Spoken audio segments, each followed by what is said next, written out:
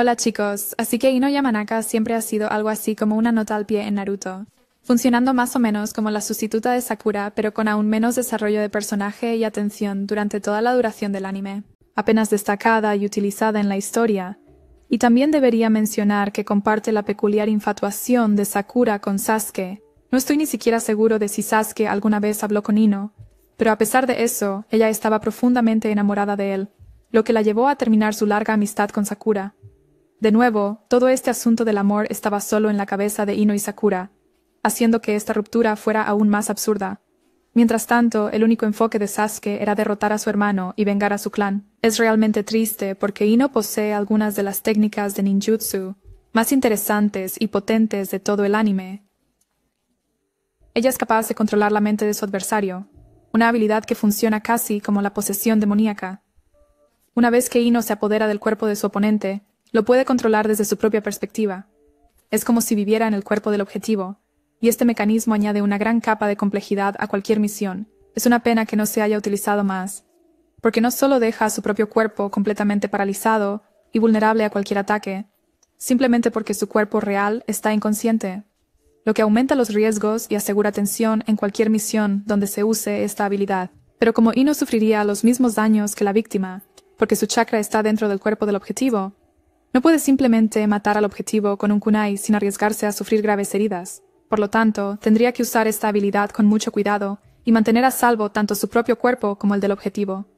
Y finalmente, esta habilidad única podría haberse utilizado para introducir una emocionante misión de infiltración de alto riesgo en la historia de Naruto, algo que por alguna razón el anime completo sobre ninjas nunca tuvo realmente. Por ejemplo, Ino podría tomar el control de un guardia y luego infiltrarse en un campamento enemigo, una instalación secreta u otros lugares, siempre con el riesgo de ser descubierta y el peligro de que su cuerpo quede indefenso durante el proceso. Si el enemigo se diera cuenta de que algo no anda bien, también enviarían tropas de búsqueda, haciendo que cualquier combate posterior con el resto del equipo sea muy interesante. Especialmente porque Shikamaru es un táctico y estratega de primera, entonces Ino también tendría planes muy astutos que ejecutar. Una trama así hubiera agregado una emoción inmensa y aprovechado una de las mayores fortalezas del anime.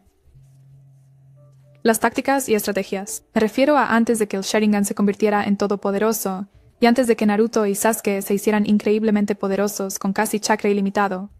En aquel entonces, las peleas eran simplemente más intrigantes porque el ganador era quien podía engañar mejor a sus oponentes, quien podía planear con efectividad y no simplemente el que tenía más fuerza bruta. Entonces, dentro del contexto de una misión de infiltración de alto riesgo, esto habría generado mucha tensión y transformado a Ino de ser prácticamente una Sakura rubia, de repuesto en un personaje genuinamente interesante, con una dinámica propia.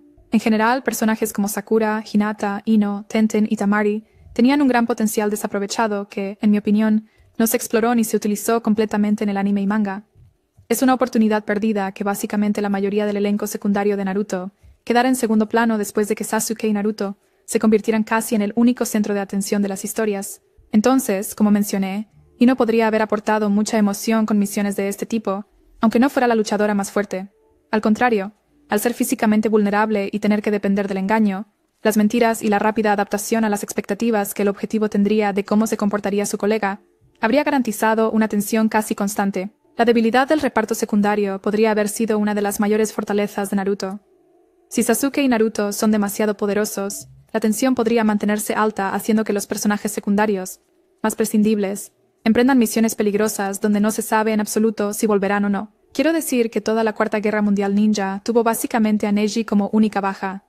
Así que poner a los demás personajes en verdadero peligro cuando Madara se desatara y los Bijou entraran en combate habría hecho la Cuarta Guerra Mundial Ninja muy emocionante de ver, en lugar de ser simplemente una sucesión de aumentos de poder mientras todos los demás se quedaban al margen observando. Entonces, de nuevo, Ino Yamanaka, si le hubieran dado unas cuantas misiones de infiltración, probablemente se habría convertido en un personaje genial, justo como Shikamaru pasó de ser un personaje secundario fastidiado a ser uno de los más queridos en Naruto, cuando tuvo sus peleas contra Kin, Temeri, y más tarde frente a los dos inmortales de Akatsuki. Entonces, que Ino recibiera el mismo trato con solo tres misiones centradas en sus propios poderes personales y desarrollo de personaje habría sido increíble.